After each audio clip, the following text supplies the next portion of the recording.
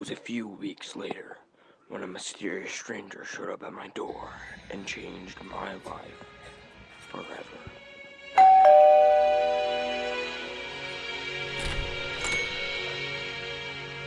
Well, good afternoon, sir. Gentlemen of the house, I take it?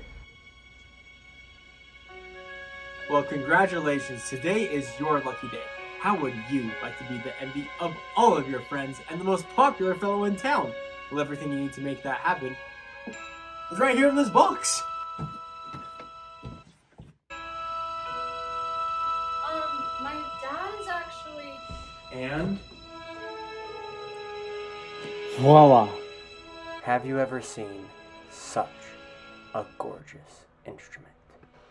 Better yet, try it on. When you play the accordion, you are a one-man band. You are the life of every party. Go ahead, son. Tickle those ivories.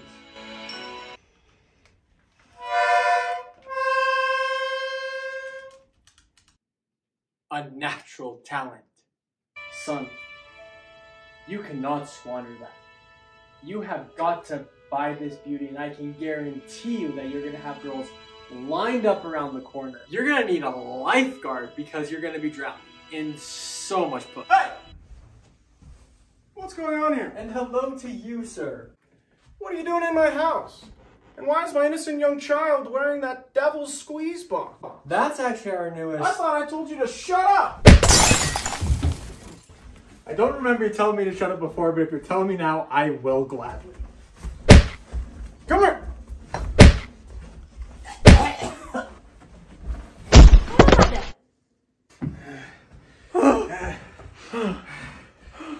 Ah! Stop! You're killing him!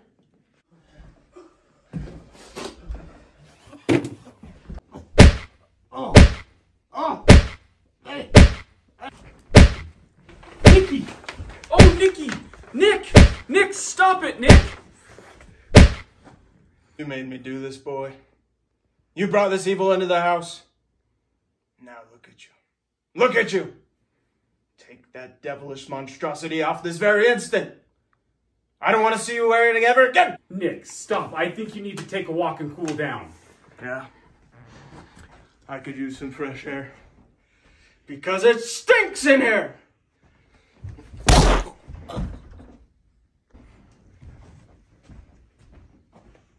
I'll be right back. Don't go anywhere. I'll, I'll be right here.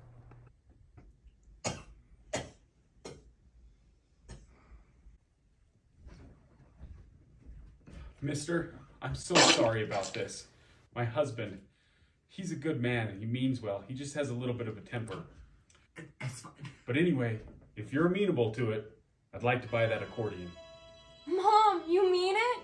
How do you feel about an early Christmas present? Yes! This is the best thing ever! Thank you so much! There's just one thing.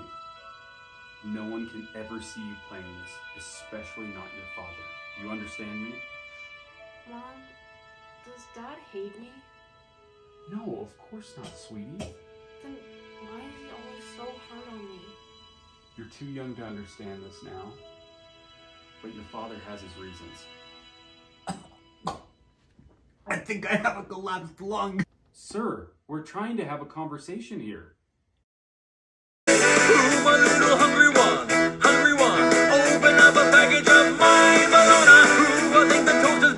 The done. Is done.